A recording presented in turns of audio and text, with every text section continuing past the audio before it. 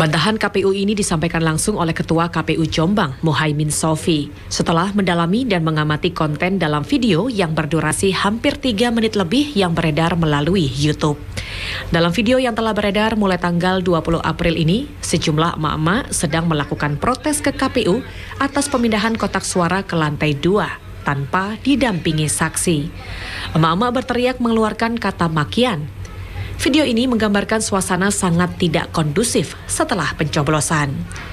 Meskipun caption video ini menjelaskan emak-emak protes kepada KPU Jombang, namun Ketua KPU Jombang memastikan gambar dalam video ini tidak terjadi di Jombang. Selain di KPU Jombang tidak pernah ada protes emak-emak, juga lokasi dalam video tidak ada yang mirip dengan lokasi kantor ataupun gudang KPU Jombang. Jadi ini tidak di Jombang, tidak terjadi di Kabupaten Jombang. Benar langkahnya?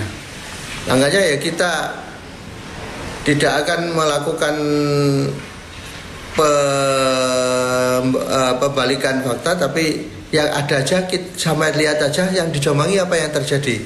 Semua wartawan sudah tahu dan mengikutinya dan masyarakat sudah tahu apa yang dilakukan oleh KPU Jombang bersih tidak ada masalah apa-apa.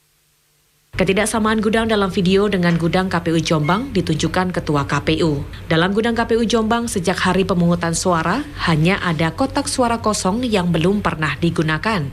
KPU Jombang masih akan rapat menentukan langkah yang akan ditempuh atas serangan video hoax tersebut. Saiful Mualimin, CTV.